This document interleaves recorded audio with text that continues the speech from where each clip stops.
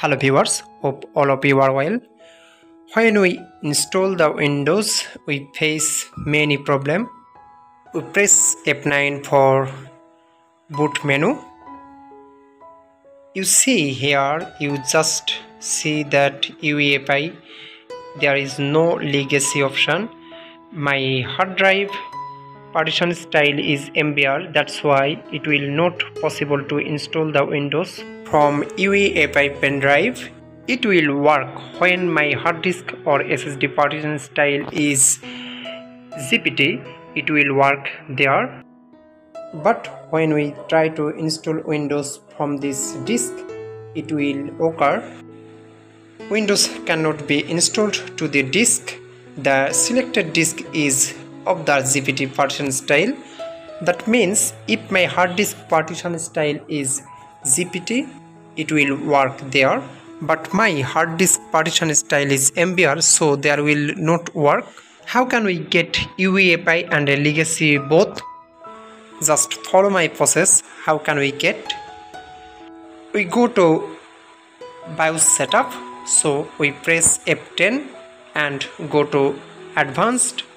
And you see here boot options.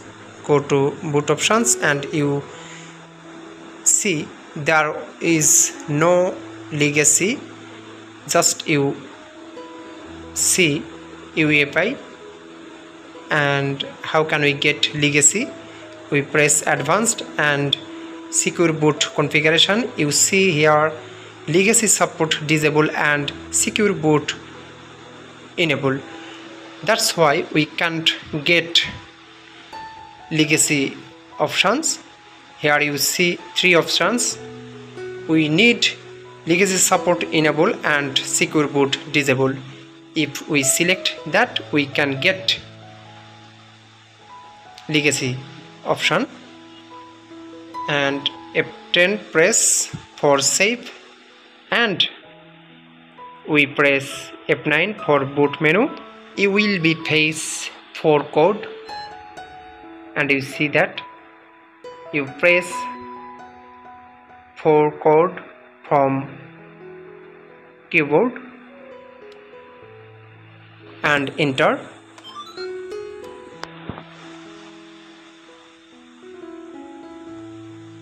You will see the legacy and UEFI both.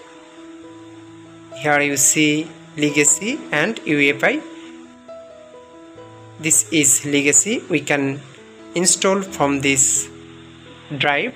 Thank you so much for watching the video. And if you benefited from this video you like comment share and hit the subscribe